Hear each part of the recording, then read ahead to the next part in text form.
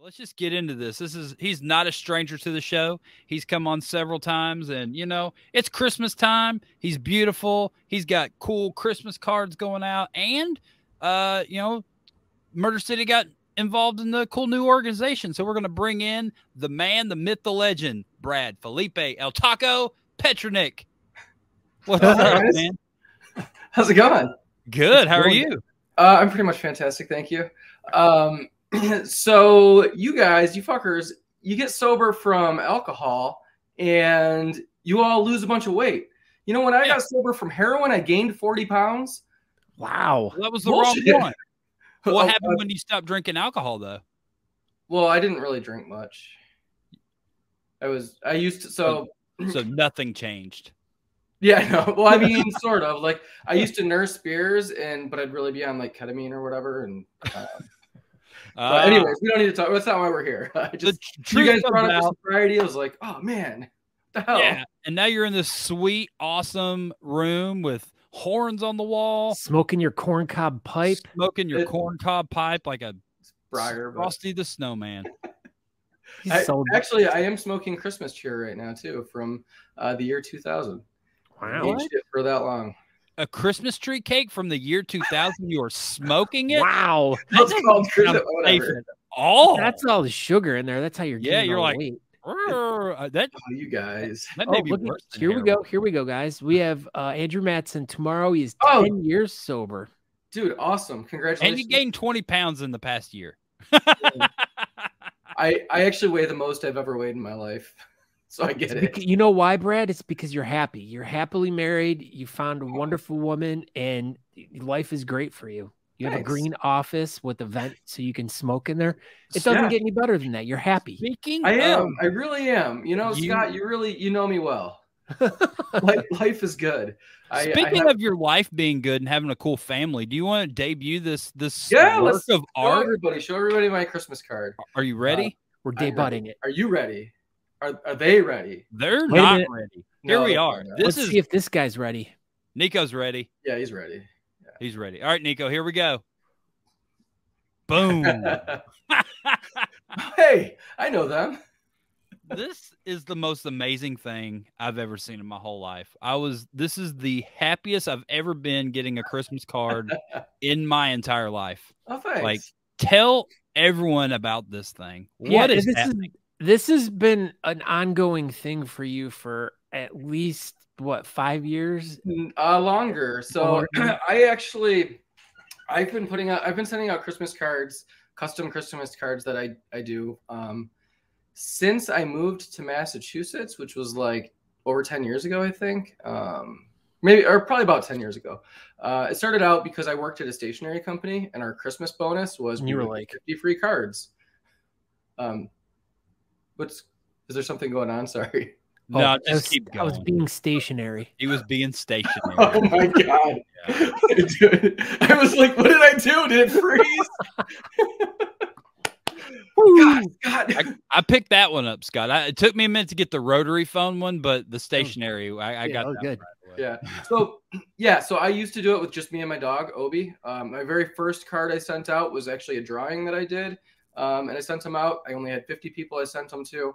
Uh, and then actually the second year I sent them out, I sent a photograph with the cards, and the photograph was of me and my dog, and uh, he I was holding him, and he actually had uh, his red rocket was showing, was popping out. it was like it was perfect. It was so Uh-oh. good. Hold so on. my cards have been inappropriate. As soon as you said oh, red rocket, Nico took off running. He did not like that. anyway, um, also, is it okay that I I curse? I apologize. I do. Yep. I you were good. Sometimes. All right. Go ahead. I figured it was okay, but like at the same time, I want to be respectful and you're um, fine. yeah. So anyway, so I've been doing it for many many years. Um, now I have a family that I get to I get to continue this tradition with, and uh, they're getting into it. They're actually really really getting into it. Um, the very first one I sent out with them, I actually told everybody. So it's me, my wife, my two stepkids, and um, my stepkid's best friend. So Devin, uh, chef, and Mr. Hankey. Yeah, and Mr. Hankey, but Mr. Hankey's not in every year.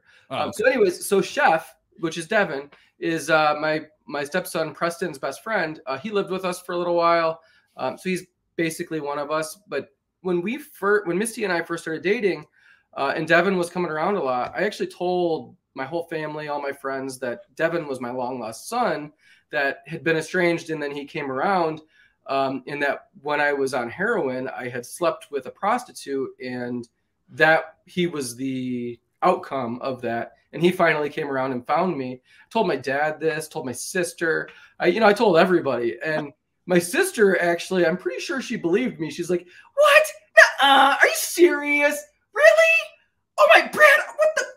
It, it, was good. It was really good. And actually, I kept it going on for a couple of years, but now everybody knows I'm full of shit. Well, everybody knows for sure now. Yeah, well, yeah, because I just yeah I told you guys, um, dude. That's hilarious. That's an amazing like, did you did you get him in on it, or did you oh, just? Oh yeah, oh yeah, of course, yeah, yeah. And because he, kinda... came to the wedding, um, so like we told everybody at the wedding too, like, yeah, this is my son. yeah. You know, people. I mean, okay, so you have to understand that pretty much everybody at the wedding knew me, so they were pretty sure I was full of shit, anyways. But but they weren't hundred percent. No, sure. exactly. I I kept them guessing, and that's all that matters. That's abs. That's the that's the best. You just 100% commit to something that yeah. may or may not be true and just just roll with it and just see what happens you never know it's, it's fun are, I, you know, I learned from my dad. He's been doing it since i was a kid and so now i'm pretty much just like my dad. You so, know what brad? Yeah. You're oh you're, i i did. I did do it. You're you get you did it. You get the star. You that's the best star too. Scott i miss i miss having you here. Why why'd you have to move to texas man? The weather's much nicer down here. Yeah, and honestly, the barbecue's better too. I yeah. uh, I do love your state. So. Yes, it is nice. It is. I, I would move Texas there. Texas is amazing. I do I do miss it up. There, you should. Though. You should move to Dallas. Oh my God, Chapo's right there. Yeah, yeah. We've been seeing him a lot. Murder City, Texas. I'm not. I'm not moving to Texas though. I love Detroit too much. Um, I already moved away for a little while to New England, and it was fun. But this is my heart is here. So um, I might move to the west side of the state, but I'm staying in Michigan. Hmm. The, the mitten. love it up there. Yes, the mitten. Exactly. We have the mitten. Uh, Sorry, I was doing it wrong too, but yeah, I, I do. I do miss it up there. One of the things that I def, I mean, I, I definitely miss Detroit though. Like Detroit's like one of my one I mean, of my it's great the greatest city in the world. So well, and and you guys throw the best, one of the best competitions in the country. I just, I absolutely oh, love it. And thanks, man. I, fun really kind of sucked that I missed this year when you guys moved venues to the new place, but it sounded like it was a really good time and everything. You, you but definitely uh, missed out. It was it was a uh, cool uh, venue this year. Yeah, it was it was fun. I had a good time. I'm very happy with the new venue. Uh, we're going we're gonna have it there again this year or next, next year. Yeah, 2023. Uh, obviously, 2024 we won't have the circus. Uh, oh, because we're gonna have Great American. um, which is going to be very fun. Um, so we actually we have the Masonic Temple booked for Great American, which is a giant building, but we're actually doing it in the Fountain Ballroom, which is in the basement. Um, oftentimes weddings are held there, but it's it is a really really cool spot, like super old. Um, it's you know it's an old Mason temple, like yeah. that's that's what it is. It's, um, it's also haunted, um, which is pretty cool. And just outside of the room that we have is also a barber shop that's we will have access to. Um, so our plan is is to bid it out um, and have barber local barber shops bid on it and sponsor uh, the event. Um, and you they get to, they get that room and they can cut hair and cut beards and um, so it'll, it'll be pretty cool. Scott and I should bid on that room, and we should cut should. beards. Yes, I, I like do, this. You're gonna start cutting all the goatees off so you can win your categories. Duh! Turn everybody into chops. Everybody. We're we're, we're throwing a competition too. Yeah, oh, we're throwing a competition too at the basement of the Alamo. Mm-hmm. It's very prestigious. Yeah, dude, that's sweet. Basement of the Alamo. Wait, right when is the, this? Yeah, uh, we know, haven't picked a date yet. Oh, cool. It's well, up, don't man. do it in November. That's all I ask. And if you do it in 2024, don't do it in September. That's all I ask. September 2024 is when we were really kind of shooting to have it. Probably like the second or third or fourth weekend, maybe the first weekend. I, I don't know. We we haven't. So really... the, do you want to know the actual date of Great American? Sure. Yeah. Uh, 20. Or, I'm sorry. Um, September 21st of 2024. Yep. So yeah. September 21st Talking Beards, the club is going to be in Breaking the basement news. of the Alamo. That's not even cool, man. I mean that. I mean it's totally cool, but don't do it the same date as us. Sorry. God, I mean, it's been planned out like this for for years. You Like, can't just get the basement of the Alamo like, oh, a quick phone call. Yeah, we had to. We had to work. We had to. Pee Wee had to be involved. you're gonna make me cry, Pee Wee. Yeah. How do How do you think we got in the basement of the Alamo? Wait, like Pee Wee Herman? Yeah. Pee Wee Herman helped us get Wait, the. is Cheech, is Cheech gonna be there too? Of No. course, Oh, he's a judge. All right, I'm coming. Fuck Great American. You're not even going to Great American now. Whatever. I'm, I'm done. I'm going to your guys' cop. It's gonna be way more way more exciting. But uh Yeah. so anyways, speaking of exciting things other than you guys hosting one of the greatest uh events, uh Great American in 2024, you said. Yes, sir. and we'll we'll probably have you on before that event Yeah, if we're still playing in 20. I'm gonna probably say we'll probably have Brad on at least a half a dozen more times between now and then. Dude, I'll come on whenever you want. Hey man, I, I'm I'm more than happy to come and just shoot the shit with you guys. But anyways, the Murder City uh, facial hair crew uh, just got accepted to be in the WBMA. Now We that's did. pretty exciting. So tell us about that whole process. Yeah, so um we, well Logie and I went to Worlds in Austin a couple of years ago in what is it 2017 Seventeen. Yeah, and it was a lot of fun. Um, we really wanted to be more a part of our club. Really wanted to be more a part of you know the the worlds. Um, so we applied. Uh, we applied recently, and one of the reasons we did because I had never even thought to apply. We were already like a part of the alliance, uh, Beard Team USA, all of the things that are for you know North America. Yeah. Um, but then like why not take it worldwide? Like it, it was brought to my attention when uh, Mad Viking was trying to bring worlds here. Um, and I was like, oh, well, we can't vote because we're not a voting club. So I was like, well, we need to apply because what's up, we, Diggs? we need to be able to vote. And I'm hoping that I can make it to worlds next year in 2023 uh, in Germany. I'm really, really trying. Uh, the only thing is, is it's the same time that my stepdaughter has finals and like there's a lot going on um, but i'm figuring it out because i really really want to make it happen I'd, I'd love to see you over there with us for sure. yeah yeah you That'd guys are going to be there for sure like i that is one more reason i have to go um, and i i mean i've never been to europe so i really i just It's scary go. over there. it is scary. People Super die Scary. daily. people dude i'm from detroit oh yeah, you're good. Oh my god did i tell you the story about i probably haven't so my wife she was dropping my stepdaughter off at school one day and she's driving down 94 which is the freeway we live by and it was around halloween and she calls me up and i'm on my way to go I, so i teach on fridays and it was a friday so i'm on my way into work to go teach and she calls me up she's like you know i just saw the strangest thing i thought it was like Halloween decoration or something. It, it had to have been because it's around Halloween, but it looked like a body on the side of the road and it was like all folded up and it kind of looked like it was a kid. And then I'm checking the news when I get to work, and sure enough, they found a dead body on the side of 94. That's what she saw. Like, Wow. yeah, like which is insane to me. I've I've never come across anything like that. just just just Detroit stuff, really. yeah, I mean, well, actually, this was um, St. Clair Shores, which is a relatively nice area, but it is like right on the border of. It came from Detroit. Yeah, well, actually, no, it came from Southfield, which so I live east of Detroit, and it came from west of Detroit, which is kind of strange. Hmm. Um, but I just thought that was an interesting story. I still about blame. Detroit. Huh? I still blame Detroit. That, that's fine. You can. Yeah. But no, we have to listen. We're trying to promote that Detroit is safe. Oh It yeah, is. so Come to the outskirts of Detroit. That's Yeah, out, yeah. Don't go in the outskirts. Just go into the Oh. heart of Detroit. Just That's go into safe. the heart, and that's Yeah. that's fine. You know, that's that's where you know uh, Eminem's from, and and Fago. Yeah. And Esham. Yes. Yeah. But Yeah, I Esham the you. unholy. You can't We're stop good. me. You can't hold me. Get all right. Um, so uh, another thing about Great American, we uh, one of the things we're planning is an art show. Um, it'll be the f- either the Friday or the Thursday before, but it'll be going on all weekend. But we'll have like the debut. Um, but it's actually going to be Eric Perry um, showcasing his portraits from the circus over the years because he's been awesome. shooting since the very first circus.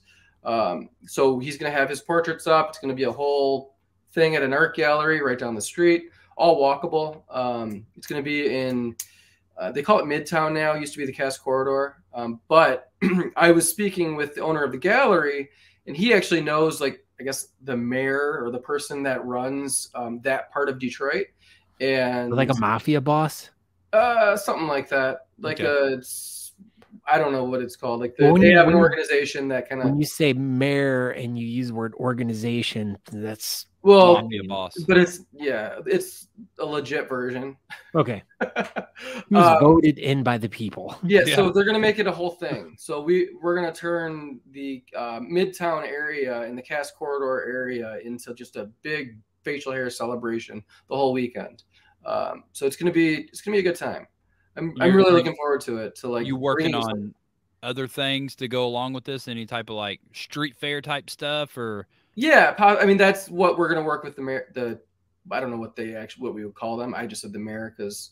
They oh, basically oh, like run the, that part of Detroit. Or like a, either like a chamber of commerce. Yeah, yeah, it's like a, it's a, that's what it is. It's like a yeah. chamber of commerce, but for it's not for the whole city. It's just for that part of the city. Oh, all right, that makes sense. Um, I think they call it the Cass Corridor. I don't know what they call it, but anyways, um, yeah, we're working on some fun stuff. I'm, Dude, that's I'm, that's going to be amazing. Like you're just going to completely turn Great American into this big giant festival that whoever comes along behind you is just going to have to live up to it. I mean, that's that's that's the hopes. That's exactly what we're we're planning to do. Um, we've you know we've got a lot of big ideas. It's just making them happen now, and we're meeting all the right people. So Steve I, Yzerman's going to be a judge. no, we want oh. actual oh. people a part of the beard community to be judges. Oh. Um, but Steve Eiserman would be cool. Eminem would be cool. Uh, Tim Robinson, are you familiar with Tim Robinson? Yes, the director slash actor who was in the Shawshank Redemption. Yes. No, not great. Tim. Ro- not Tim Robbins. Tim Robinson. He used to write for. Um, he's, he was the center. Watch the show, to watch the show Detroiters. No. Um, there's another show on Netflix called like So You Think You Can Stranger Afford. Things. He was yeah. in Stranger Things. Yeah. Wow. Anyways, he used to write for Saturday Night Live. Uh, he was actually on Saturday Night Live as well. He's from Detroit. I went to high school with him, um, so maybe we can get him involved somehow. Brad awesome. has That's famous friends. Wow. Well, acquaintances. He was in a punk band that I used Tim to Allen's going. Tim Allen's from Detroit. He used to sell drugs, man. See, you probably know him. I, yeah, I should know everybody that sold drugs. Probably.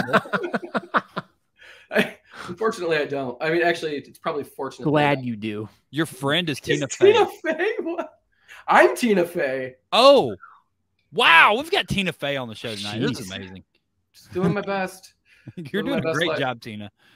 Wow, this is this is a lot of this is a lot of excitement going on up in uh, for you guys up in Detroit. Uh, I mean, congratulations on getting into the WBMA. Congratulations on getting the Great American.